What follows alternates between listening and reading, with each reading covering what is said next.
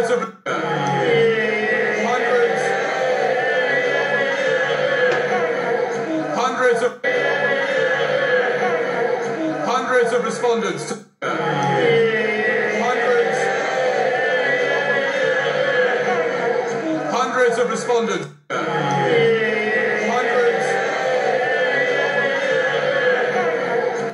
his advice jonathan gullis thank you mr speaker